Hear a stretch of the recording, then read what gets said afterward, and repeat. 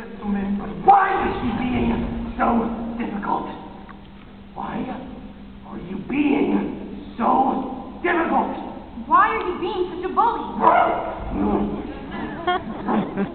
because I want you to come down to dinner. So you admit you're being a bully. I'll give her one last chance.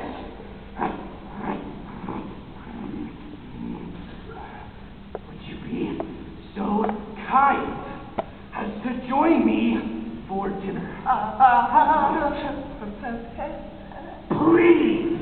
No, thank you. Fine! Then starve! Master, please. She doesn't eat with me!